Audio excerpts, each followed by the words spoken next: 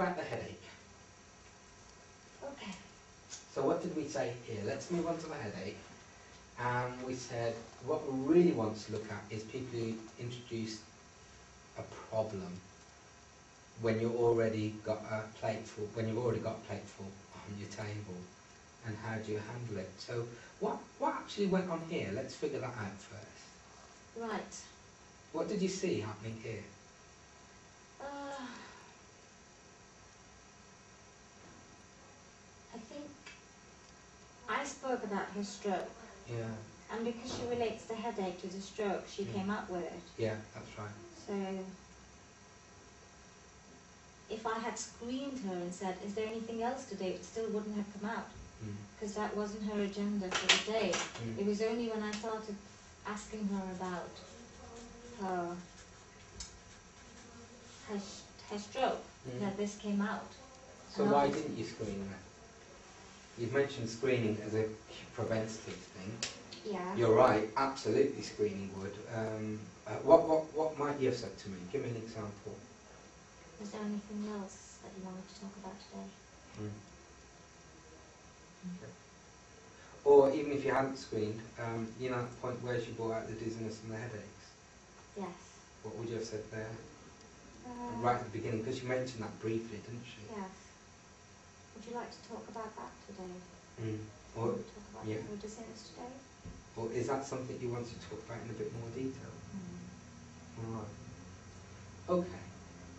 Um, so, okay, prevention is screening, but let's go back into actually what happened in this consultation. Right, so I'm talking to her about her TIA, and she says that, well, she had a TIA so many years ago, and since then she's had a headache, uh, and she's gone to see the neurologist. That's right. I know all of that, but looking at the video, what actually happened? She brings in the headache problem. And What- it just hijacks the It consultation. hijacks it completely. Yeah. And then at some point, you go back to the initial thing about the blood pressure. Yeah. And do you know what? I don't know whether it applied to you, but I couldn't figure out where that changeover happened. Do you see what I mean? I mean, I couldn't. And I think that's got something to do with structure, which is what you want to talk about, all right? But I think I kind of explained to her that I thought her headache was either a medication-induced Mm. headache or just from her nerves. yeah, And she said, oh yes, if it was a, okay. I'm not worried about a brain tumour, and if it was anything serious, it would have happened by now. And I said, okay, let's talk about your blood pressure Okay. again now. Well, let me ask you another question, all right? Okay. Were you particularly happy with your history and examination of that headache in that consultation? I think probably looking back, I could have, I didn't examine her at all, so that was probably not brilliant. Mm, I should have done. Mm, But I think I was, I wasn't worried about a headache. mm. Um, I couldn't, you know, do a spot diagnosis for what exactly it was, but I was pretty sure it was nothing that I needed to handle sort of.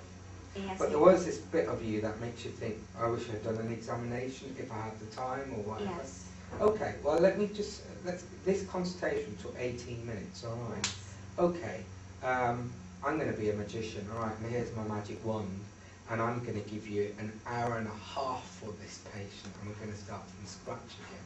Okay. Right, would you have done the headache and exam, uh, the headache in terms of history and examination any differently? I would have probably uh, asked the same questions I asked, but I would have probably brought her back.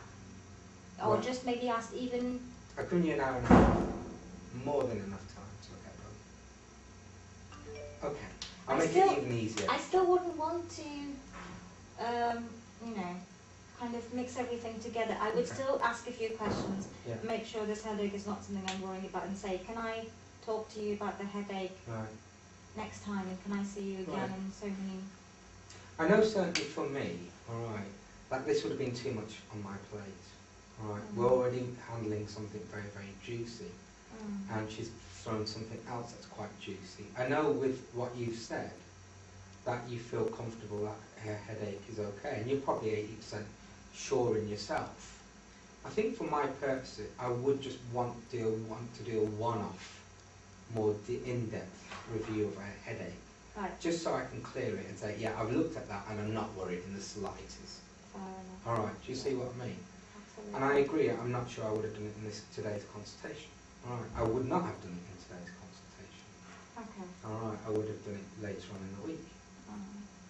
And the thing about it is, you end up otherwise rushing through it. Did you feel that you were rushing through it at any point? yeah, Because you want to get back to the other one. sure.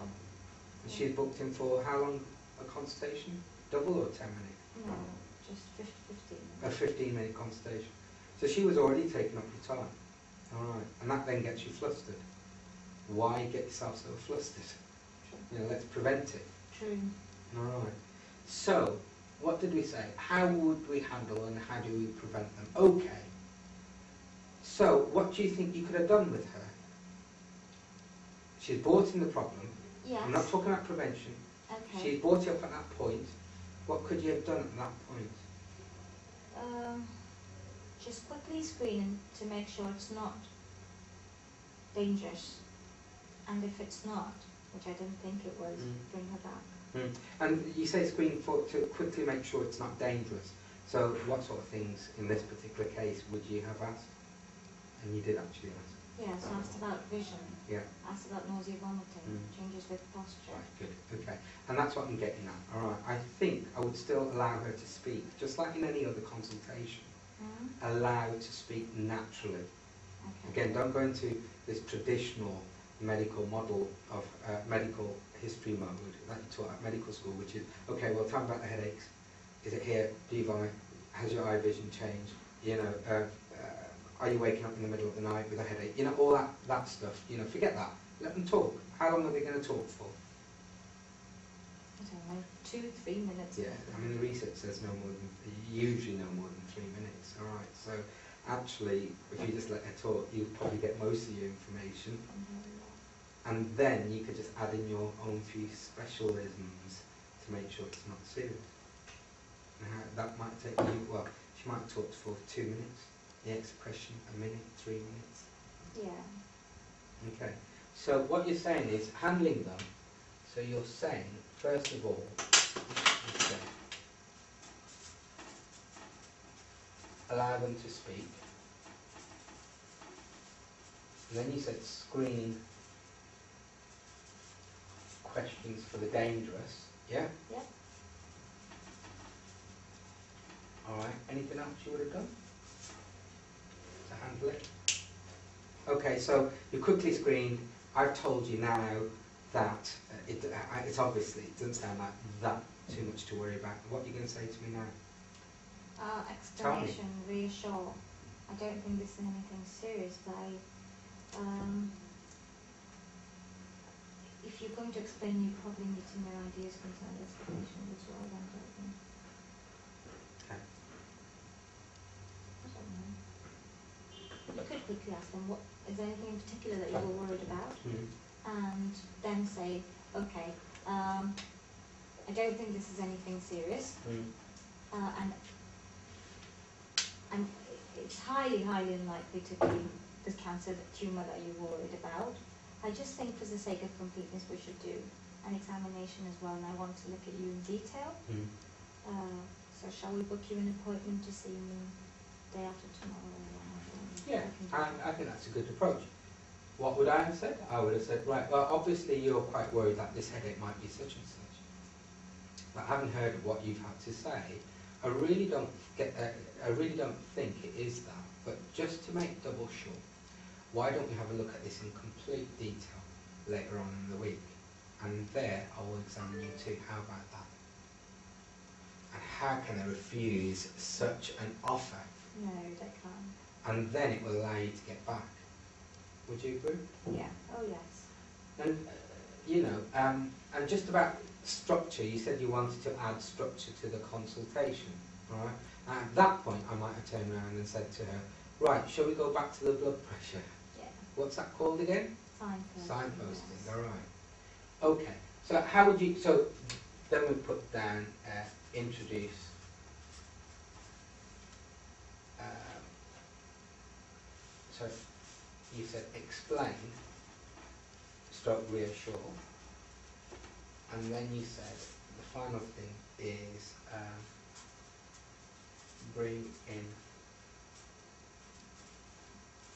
the delay till next time explanation. Does that sound clear? Yeah. Shall we just go through it? So what you could have, uh, on this one, uh, when she brought in the headache, what you could have done was allow her to speak and elicit her concerns in particular, not mainly during, but may not. You might then want to add one or two screening questions to make sure it's not dangerous. And then you might want to explain and reassure that it's not that, or is that, or whatever. And then finally, you want to introduce the, the bit where you say, well, let's have a look at it more detail for next time. Prevention, how could you have prevented it? You said screening. Anything else?